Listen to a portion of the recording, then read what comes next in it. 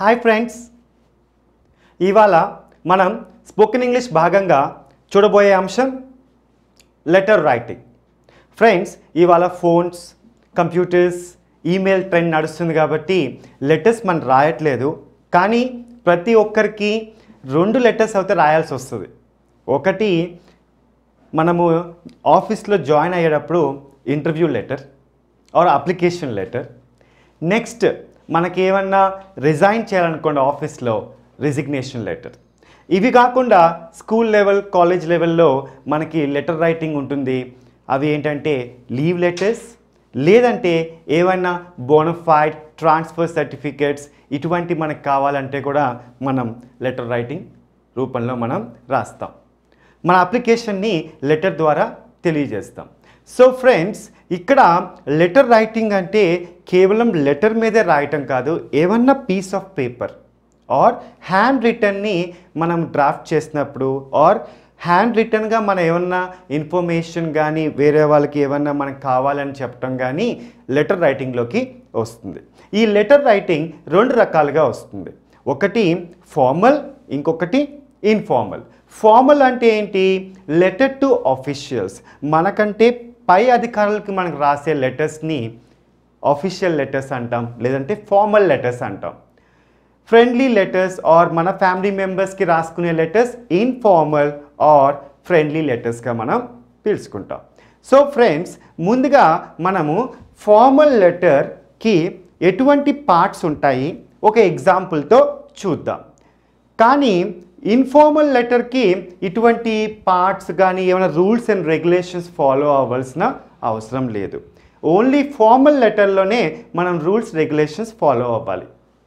So letter writing మనకి two types formal informal formal అంటే letter to officials informal friendly letters so ఒక letter మనం formal లెటర్లో rules ఉంటాయనుకున్నాం కాబట్టి ఏమేమి రూల్స్ ఉంటాయి అవి? ఫస్ట్ శాలిటేషన్ శాలిటేషన్ అంటే మనము ఏవైతే మనము సంబోధిస్తామో దాన్ని మనం సెల్యుటేషన్గా చెప్తాం. సో ఇక్కడ ఫస్ట్ పార్ట్ ఏమొస్తుంది? సాల్యుటేషన్ నెక్స్ట్ సబ్జెక్ట్ సబ్జెక్ట్ ఏంటి? మనము ఏదైతే మనం రాస్తున్నామో దాని ఆ- ఆ సబ్జెక్ట్ని మనం ఎస్యుబి కింద రాసుకుంటాం. సో సబ్జెక్ట్ ఏంటి? ఈ సబ్జెక్ట్లో మనం ఏవైతే లైన్ రాస్తామో చదివే వాళ్ళకి ఈ లెటర్ దేని గురించిన ఒక ఐడియా వస్తుంది. ఫ్రెండ్స్ ఇవాళ టైం చాలా వాల్యుబుల్ అందరికీ. సో అంత టైం లేదు ఎక్కువ చదవటానికి ఎక్కువ రాయటానికి కూడా. సో సింపుల్గా ఐడియా రావాలంటే ఈ ఒక్క లైన్ ఈ మ్యాటర్ అంటే ఏంటి అని ఒక ఐడియా చదువుతారు కాబట్టి దాన్ని బట్టి మనకి ఈజీగా మన లెటర్ దేని గురించి ఒక ఐడియా మనం వేరే వాళ్ళకి ఇస్తున్నాము. మనం కూడా చదివేటప్పుడు ఇది ఒక ఈ సబ్జెక్ట్ లైన్ చాలా హెల్ప్ఫుల్ అవుతుంది. సో అప్లికేషన్ ఇక్కడ నేను ఏం రాస్తున్నాను? Application for the post of for the post of office assistant మీరు అబ్జర్వ్ చేసినట్లయితే ఇక్కడ మనకి ఎటువంటి అప్లికేషన్ రాస్తున్నాం? Application for the post of post of office assistant ఏ పోస్ట్కి మనము అప్లై చేస్తున్నాము. మేబీ ఏ డీసీ పేపర్లో చూసి మనం అప్లై చేస్తున్నాం. సో అలాంటప్పుడు మనము ఇక్కడ సబ్జెక్ట్లో ఏంటి నేను ముఖ్య ఉద్దేశం ఏంటి ఈ లెటర్ రాయటానికి అనేది సబ్జెక్ట్ లైన్లో మనం పెట్టాలి. ఇంకొకటి మనం అబ్జర్వ్ చేయాల్సింది ఏంటంటే ఈ లాస్ట్లో application for the post of office assistant దేని గురించి? అంటే రిగార్డింగ్ ఈ ఆర్ఈజీ అనేది మనము ఖచ్చితంగా మనము ఇక్కడ మెన్షన్ చేయాలి. ఓకే ఫ్రెండ్స్ యా నెక్స్ట్ ఏంటి? బాడీ బాడీలో మనం ఏం చూస్తాము? మనం ఏం తెలియజేయాలనుకుంటున్నామో అదంతా కూడా మనము ఇక్కడ మనం ఎక్స్ప్రెస్ చేస్తాం. For example I am B Uttam పేరు. Writing with reference to your advertisement in DC. అంటే ఏంటి? నేను ఉత్తమ్ నేను రాస్తున్నాను పేపర్లో డీసీ పేపర్లో చూసి ఈ అప్లికేషన్ రాస్తున్నానని అర్థం వచ్చింది ఇక్కడ. నెక్స్ట్ సింపుల్గా రాయటానికి ట్రై చేయండి. ఐ కంప్లీటెడ్ బీకామ్ బీకామ్ అయ్యింది I have one year experience as office administrator or office admin. అంటే నాకు వన్ ఇయర్ ఎక్స్పీరియన్స్ ఉంది ఆఫీస్ అడ్మినిస్ట్రేటర్గా అని ఇక్కడ అర్థం వచ్చింది. Next I possess extraordinary communication and technical skills అంటే నాకు చాలా మంచి కమ్యూనికేషన్ మరియు టెక్నికల్ స్కిల్స్ ఉన్నాయని అర్థం వచ్చింది ఇక్కడ. ఐ ఆమ్ రిసోర్స్ఫుల్ అండ్ నేను చాలా helpful and wanted to be a part of your organization నేను మీ ఆర్గనైజేషన్లో వర్క్ చేయాలనుకుంటున్నాను. లేదంటే మీతో అసోసియేట్ అవ్వాలని ఇంట్రెస్ట్ చూపుతున్నాను. సో అని ఈ లైన్లో మనం తెలియజేసాం నెక్స్ట్ బాడీ అయిపోయింది. కన్క్లూజన్ ఈ కన్క్లూజన్లో ఏమిస్తాం మనము? మనం ఒక కృతజ్ఞతా భావాన్ని తెలియజేస్తాం. Thanking you in advance and awaiting positive response so ఇక్కడ ఏం చేస్తున్నాం మనము? నేను ముందుగానే మీకు కృతజ్ఞతా భావాన్ని తెలియజేస్తున్నాను.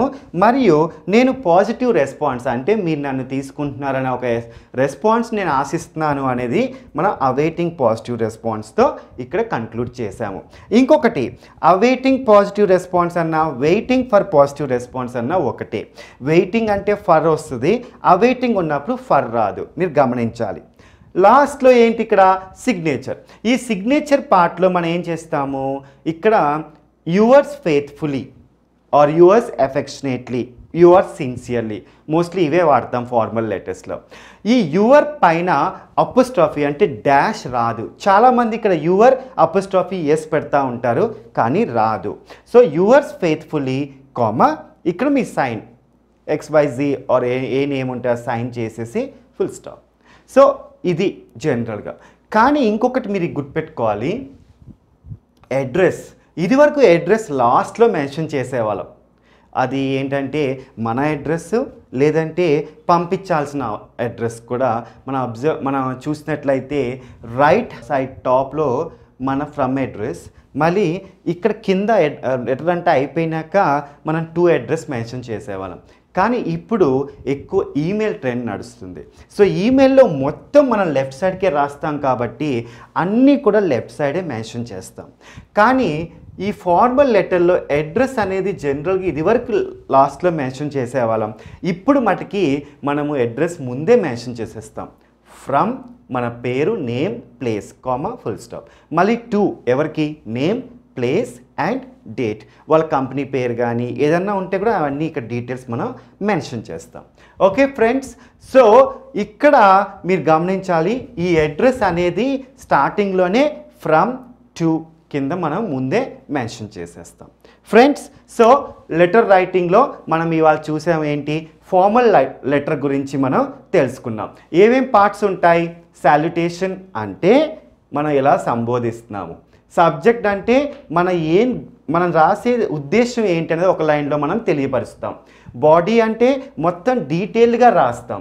నెక్స్ట్ కంక్లూజన్ అంటే మన యొక్క థ్యాంక్ఫుల్నెస్ని ఒక లైన్లో ఎక్స్ప్రెస్ చేస్తాం. సిగ్నేచర్ మనీ మనం ఇక్కడ లాస్ట్లో పెడతాం. సిగ్నేచర్ తర్వాత అడ్రస్. అడ్రస్ అనేది ఎప్పుడు కూడా మనం ఫ్రంటే పెట్టేస్తాము. ఫ్రమ్ టూ పార్ట్లో మనం మెన్షన్ చేస్తాం. ఈ రోజుల్లో మొత్తం అంతా లెఫ్ట్ హ్యాండ్ సైడే ఫాలో అవుతున్నాం.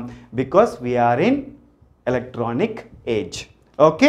Or electronic period so అంచేత మొత్తం లెటర్స్ అన్నీ కూడా లెఫ్ట్ హ్యాండ్ సైడే మనం మెన్షన్ చేస్తున్నాం. ఇదివరకు రోజుల్లో from address right top corner to address left bottom కార్నర్లో మనం రాసేవాళ్ళం. అవన్నీ ఇప్పుడు మనం ఫాలో అవ్వట్లేదు. So these are the things to be careful while writing formal letters ఇంకా ఫార్మల్ లెటర్స్లో మీరు uh, చెప్పుకోవాలంటే లీవ్ లెటర్ లీవ్ లెటర్ తీసుకున్నాం అనుకోండి for example yes respected sir or ma'am from మీ మీ పేరు మీ place to to the principal so and so school or college or anything and date ఇక్కడ రాస్తారన్నమాట I'm so and so person and I need five days leave because I'm not keeping well thanking you in advance kindly permit my leave yours faithfully sign అట్లా so ఇప్పుడు మనం formal letter గురించి చూసాం. Next ఒకటి informal letter చూద్దాం. So ఇప్పుడు మనం informal letter గురించి ఒక ఎగ్జాంపుల్తో చూద్దాం. ఇంతకుముందు మనం ఫార్మల్ లెటర్ చూసాం. ఇప్పుడు ఇన్ఫార్మల్లో letter to a friend for example me BTech friend campus ఇంటర్వ్యూస్లో సెలెక్ట్ అయ్యాడు. సో మీరు ఒక కంగ్రాచులేషన్స్ చెప్తూ ఒక ఫ్రెండ్లీ లెటర్ ఎలా రాయొచ్చో మనం ఎగ్జాంపుల్ చూద్దాం.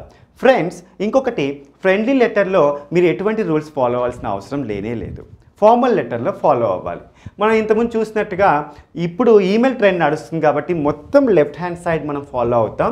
ఫ్రమ్ టు కూడా మనము స్టార్టింగ్లోనే మనం మెన్షన్ చేయొచ్చు. Same okay from to next dear friend అని అనకూడదు. డియర్ మీ ఫ్రెండ్ పేరు మెన్షన్ చేయాలి. ఫర్ ఎగ్జాంపుల్ ఫ్రెండ్ పేరు ఫనీ అనుకోండి.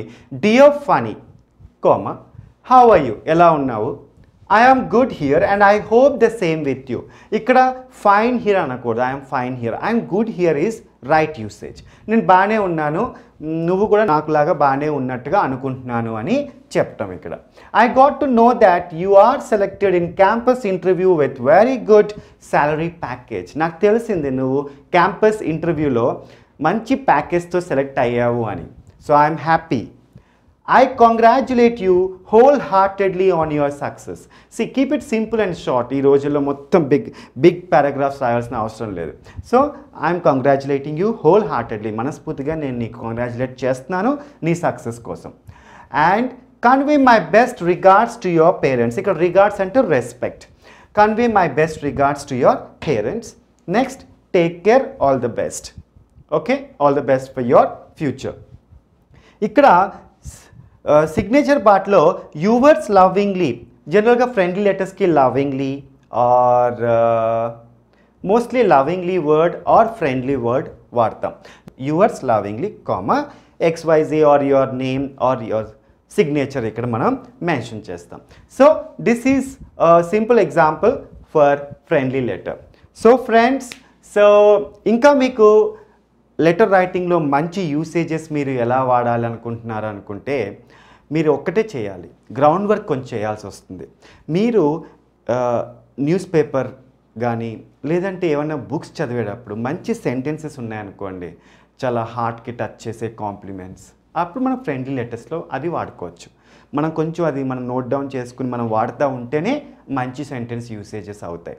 ఒకవేళ ఆఫీసెస్లో మనం వర్క్ చేస్తున్నప్పుడు ఫార్మల్ లెటర్స్లో వేరే వాళ్ళ లెటర్స్ మనం రిసీవ్ అయిన ఈమెయిల్ ద్వారా లేదంటే మనం బుక్స్ చదివేటప్పుడు మనకి ఆఫీషియల్గా వాడే యూసేజెస్ అవన్నీ కూడా మనం నోట్ డౌన్ చేసుకుని అప్పుడు మనం వాడచ్చు. అలా మన రైటింగ్ స్కిల్స్ బాగా ఇంప్రూవ్ అవుతాయి. So friends keep practising and keep trying and keep shining.